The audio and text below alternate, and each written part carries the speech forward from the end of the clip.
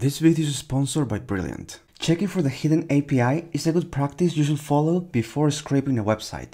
This will save you from adding actions to your scraper, such as clicking on buttons, scrolling, and more. And in this video, I'll show you step by step how to find a hidden API and use it to easily extract data from websites. We'll use Python and Scrapy for this demo, but feel free to use any other web scraping library. I recorded this tutorial a few years ago for my web scraping course, so the audio quality might not be the best, but the content is still very useful. Without further ado, let's get started. So the website we're going to scrape, it's called Quotes to Scrape. So as you can see, it has some quotes and the name of the author. And if you scroll down, you see a pagination. So you have to click next to go to the next page. But we're going to go to the website quotes to scrape.com slash scroll. So you get instead infinite pagination. So as you scroll down, more quotes will appear, which is known as infinite scrolling. Now let's start scraping the API of this website.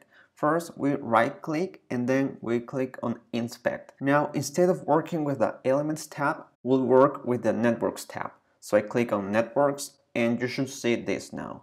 After this, we're gonna press on, on the XHR option, which stands for XML HTTP request. Now I'm going to refresh the website so we get the request of the first page.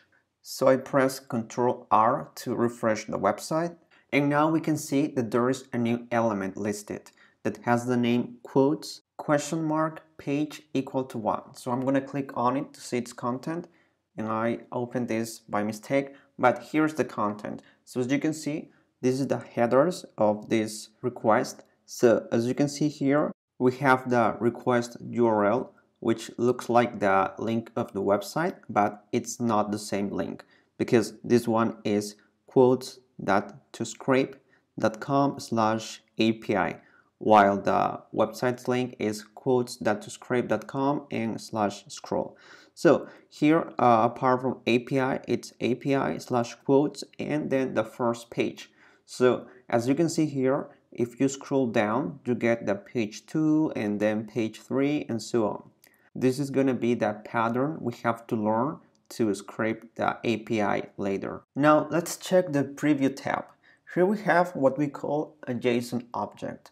Let's check some important elements. Here we have the has next element which is set to true because the next page exists. Then we have the quotes element, which contains all the quotes listed in the website. As you can see here, if I expand the first one, you see the author, the tags, and the text. For example, here you can see some of the tags like change or deep thought, and also here you can see the name of the authors like Albert Einstein. Now let's go back to the terminal to start a new project. So right now I'm located in the spider underscore tutorial folder. The folder is the one you see now on screen but we're going to create another folder that contains a different project. So now I'm going to cd into the folder that contains all my projects. So this is the folder nvs and now I'm going to create a new project by running the command scrapy start project and then I'm going to give it a name. So the name is going to be API underscore project. Now I'm going to press enter to run this command and now we got the message that a new project was created.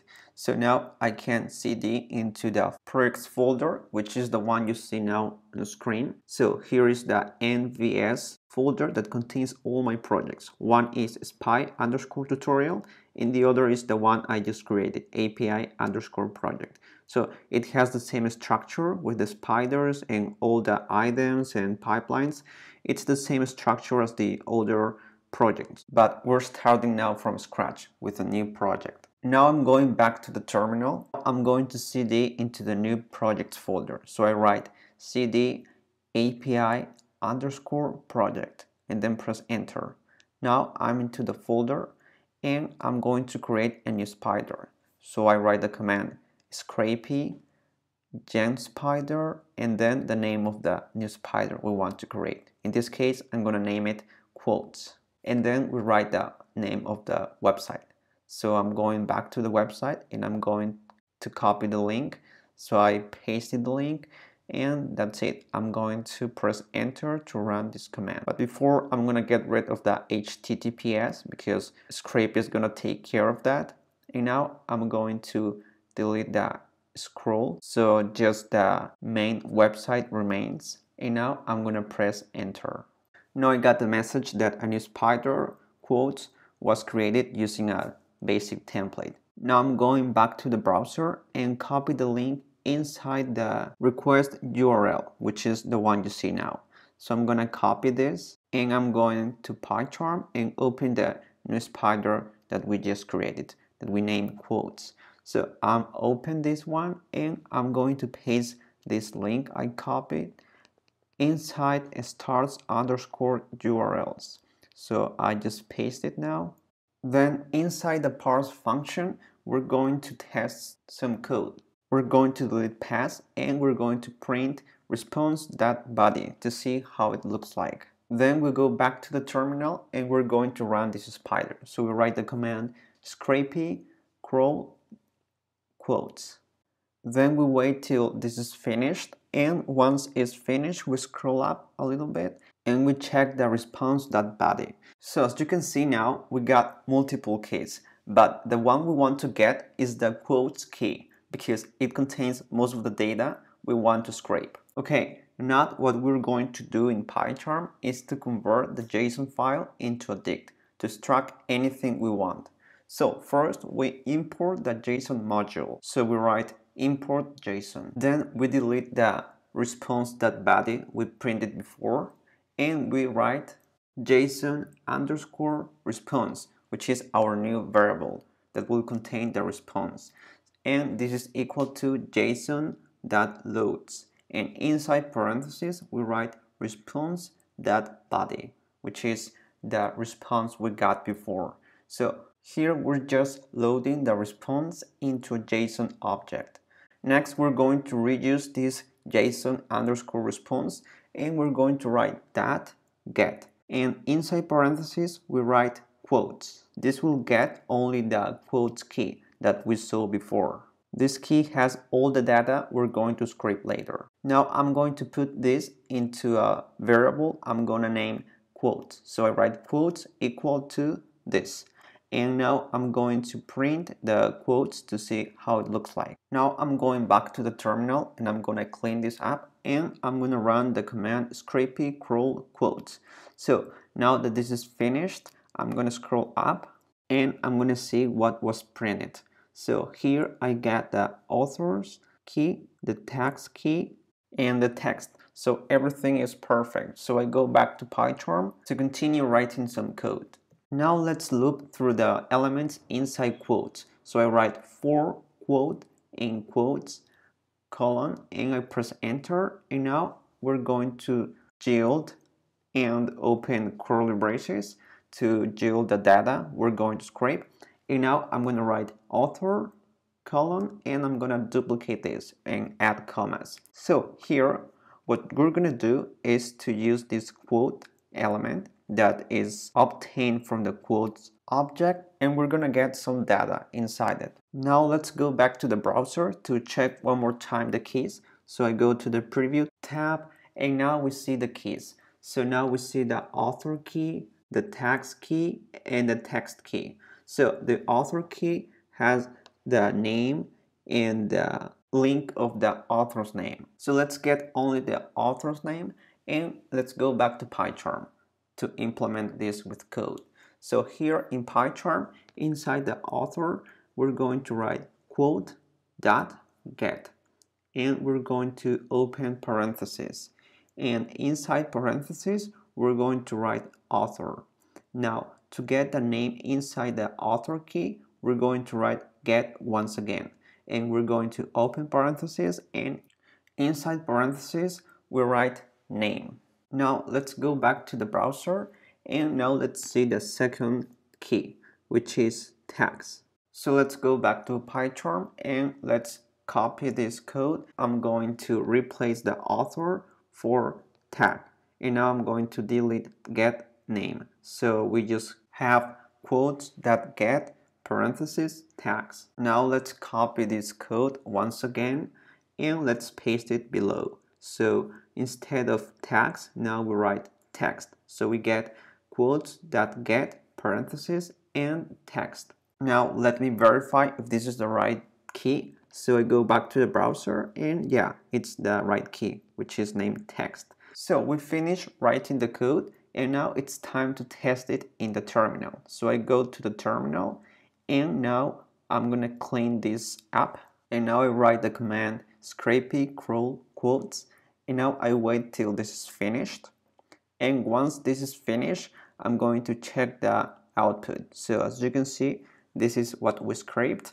But let's check this in a JSON file or in a CSV file. So let's put the data into a more readable format so I'm going to clean this write scrapy crawl quotes but now I'm gonna add dash o and then quotes dot csv or you can use also JSON so I'm gonna use JSON to export this in a JSON file. So now I press enter to execute this command and now I'm going back to PyCharm to see the new JSON file I just created.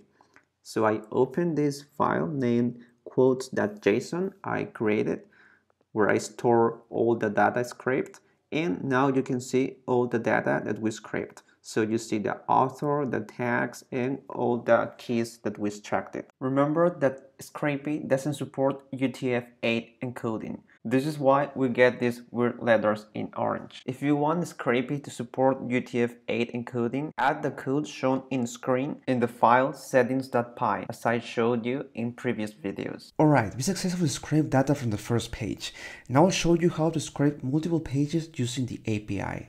But before this, remember that one of the things we can do with the data we extract from sites is analyze it with visualizations. And you can learn how to do it with today's sponsor, Brilliant.org.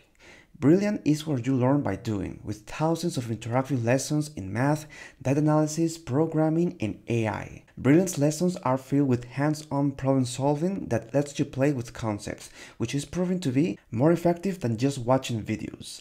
I love Brilliant's interactive exercises because they help me think rather than memorizing concepts, which is more important to develop our analytical thinking. For example, this interactive graph helps us determine when to use log scales instead of linear scales. In our data, there is a point that is significantly higher than the others, making the scatter plot difficult to read with a linear scale, but with just a couple of clicks you can switch to a log scale and improve the readability of the visualization. Brilliant has many of exercises like this that will help you build a solid foundation in data analysis as you learn to visualize and work with real datasets. No coding skills are required. You learn to choose the right visualization so you can understand and communicate data effectively, and learn to filter, group, and manipulate datasets in order to turn raw data into insights you can use to make decisions. To try everything Brilliant has to offer for free for a full 30 days, visit brilliant.org slash the PyCoach or click on the link in the description. You'll also get 20% off an annual premium subscription. Thanks to Brilliant for sponsoring this video, and now let's go back to the video. Okay, now it's time to scrape multiple pages of the API. I'm now in the network tab of the developer tool. In case you're not here, just right click on the page and then select inspect and then go to the network tab. Now let me show you how pagination works in this page. I'm going to scroll down and as you can see, as I scroll down, more quotes load and also more requests load. For example, we have the request of the page 2 and also the request of the page 3. Now, in the preview of page 2 as well as page number 3, we can see that the element has underscore next is set to true.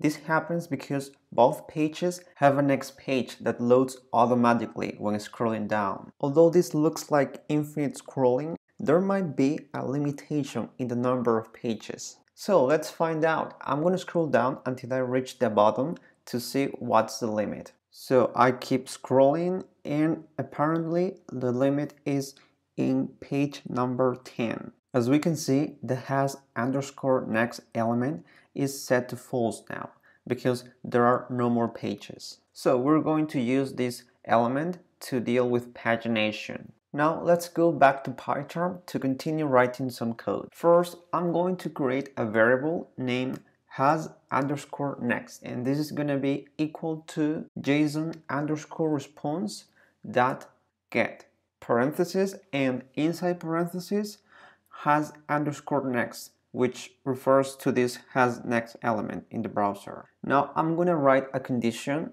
So I write if has next. So this means that if has next is true, execute the following code. That is, if there is a next page, execute the following code. Now let's go back to the browser to see other elements. Here's the element page. This one represents the page we're in right now. So let's use it in our code. Now I press enter and now I'm gonna create a new variable named next underscore page underscore number which is equal to json underscore response and parentheses page plus one. This variable is gonna help us scrape all the pages. For example, when we're in page 1, this variable will take the value of page 2 and when we're on page 9 the variable will take the value of 10. Now let's yield a scrapy that request to go to the next page every time the has next variable is set to true. Inside parentheses I'm going to define the URL we're going to scrape. But first, I'm going to open a f string to concatenate that URL with the next page number variable later. Now I'm gonna copy the URL from starts underscore URLs and now I'm gonna paste it. So now I'm gonna replace the number one with the next page number variable. So I open curly braces and now I copy and paste that next page number variable. In case you're not familiar with f strings, we use curly braces to concatenate variables to strings. Now I'm gonna add the callback argument and I'm gonna write equal to self dot parse. Now let's go back to the terminal to run this spider. So now I'm gonna clean this up and I'm gonna write the command scrapy crawl quotes dash o quotes underscore pagination dot json to store all the data scrape into a JSON file. Now I'm going to press enter to run this command and I'm gonna wait till this is finished. So now the process was finished and now I'm going back to PyCharm to open this file. So I'm gonna check here and this is the file quotes underscore pagination. So I'm gonna open it and for some reason only one page was scraped. So let's go to the terminal to see what happened. I'm gonna scroll up a little bit to see the messages I got. So I see here that I got a type error in line 21. So I'm going to line 21 and here I see that I forgot to put that get. So I'm gonna write now. Now let's go back to the terminal to run this command again. So I write scrapy, crawl quotes and then hyphen o and now the name of the JSON file I'm gonna create. So I write quotes underscore pagination.json. Now I run the command and wait until this is finished. And now that it's finished, I see in the stats that it says item scraped 100. So this is a good sign. So I'm going to open the file in PyCharm and as you can see now, I have the 100 rows and this means that all the data was successfully scraped. And that's it. Now you know how to scrape multiple pages of an API.